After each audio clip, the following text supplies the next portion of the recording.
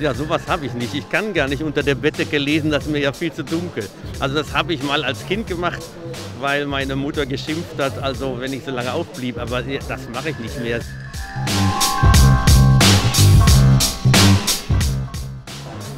Ich würde eine Zeit lang richtig große Geschichten, längere Geschichten erzählen und die noch radikaler mit ganz kurzen Nachrichten mixen, als es heute schon der Fall ist.